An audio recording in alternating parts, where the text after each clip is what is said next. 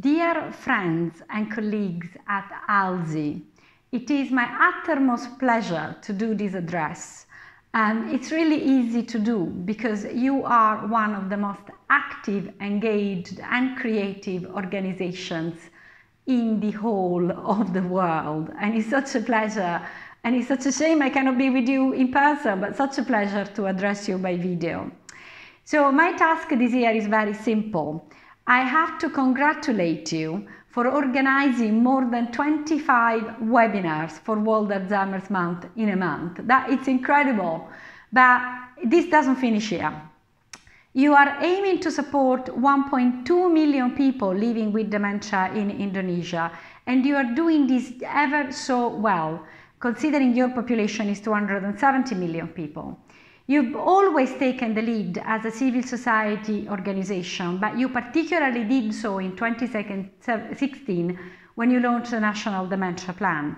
And that led to raised awareness and a collaboration with the Ministry of Health, uh, which has greatly improved the status of dementia as a disease that needs addressing in Indonesia.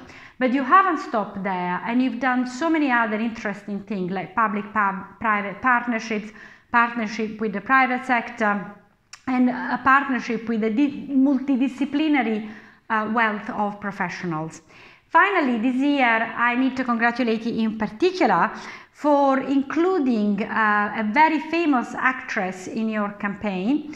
I know that Widyawati has been incredibly successful in supporting the Jangan Maklum Dengan Pikun uh, Love Your Parents Challenge and uh, her video, uh, I think in the last week, uh, but I'm speaking now at the beginning of September, has been viewed by over a thousand people, so fantastic success.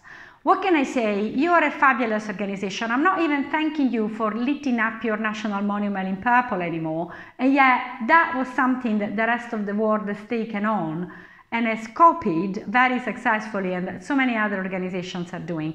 I'm not even mentioning the Poco Poco dance that we all love.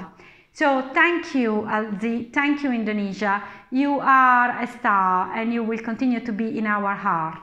Thank you. Bye-bye.